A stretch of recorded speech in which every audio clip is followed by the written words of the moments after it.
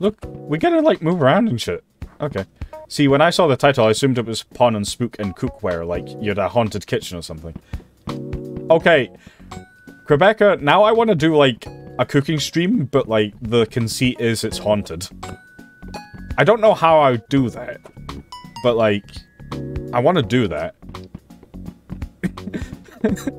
Just, like, tie up all of my kitchen shit to, like, strings and just have someone in another room pulling them randomly.